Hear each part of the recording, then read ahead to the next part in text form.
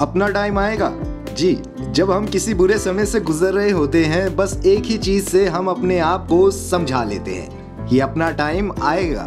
लेकिन कब आएगा वो टाइम हम अक्सर उस अच्छे टाइम के इंतज़ार में रहते हैं।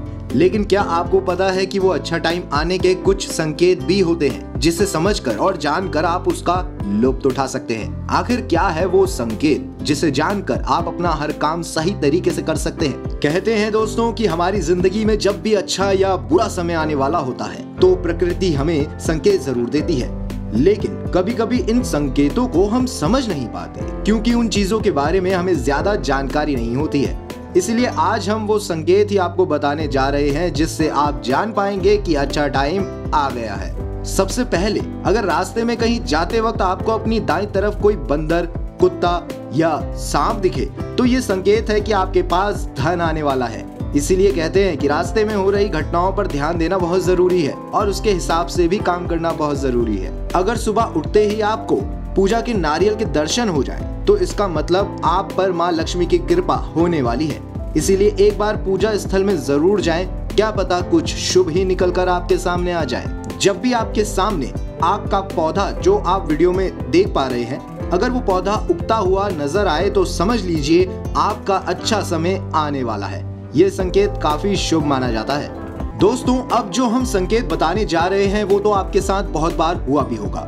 लेकिन इस संकेत को गलत तरीके से भी लिया जाता है। मतलब इसका होना अशुभ माना जाता है। और ये संकेत है कि अगर आप किसी ज़रूरी काम के लिए घर से निकल रहे हो और किसी व्यक्ति के हाथ में जल से भरा हुआ पात्र आपको दिख जाता है तो ये संपन्नता का संकेत होता है। अगर आपके घर के द्वार पर गाय आकर रंबाए तो ये घर में सुख समृद्धि आने का संकेत होता है। ऐसे में गाय के घर आने पर उसे रोटी ज़रूर खिलाए। अगर आप किसी ज़रूरी यात्रा पर जाने वाले हैं और घर से निकलते ही आपको याद आए कि आप कुछ सामान भूल रहे हैं तो ये पूरा समय टलने का संकेत माना जाता है।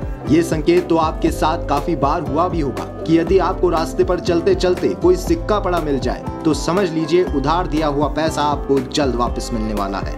तो अगर आपसे किसी ने उधार लिया है और आपके साथ ऐसा कोई संकेत हुआ है तो ज़रूर आपके पैसे वापस आएँगे। इसके अलावा ये आर्थिक स्थिति मज़बूत होने और धन लाभ होने का भी संकेत कहलाता है। इस संकेत की बात करें तो ये संकेत आपने टीवी में ज़रूर देखा होगा, लेकिन बेशक वहाँ तो काल्पनिक होता है। लेकिन अगर ये असल ज़िंदगी में हो तो शुभ संकेत माने जाते हैं। पूजा के दौरान यदि भगवान की प्रतिमा पर रखा हुआ फूल या पत्ता आपके सामने गिर जाए तो इसका मतलब होता है कि भगवान आपसे प्रसन्न है। और जल्द ही आपकी मनोकामना पूरी होगी। चलिए अब आखिरी संकेत को समझ लेते हैं। अगर आपको अपने आसपास रंग बिरंगी तितलियाँ दिखाई दे तो इसका मतलब आपकी ज़िंदगी में खुशियाँ आने वाली हैं। दोस्तों, देखा आपने, शुभ संकेत क्या होते हैं? इसीलिए ध्यान से सोच समझकर हर चीज़ पे गौर करें और समझें, क्या पता कब क्या संकेत मिल जाए। अगर आपको हमारी ये जानकारी अच्छी लगी हो तो वीडियो को लाइक करें, शेयर करें और ऐसी ही रोचक वीडियो को देखने के लिए देखते रहिए प्रभु दर्शन।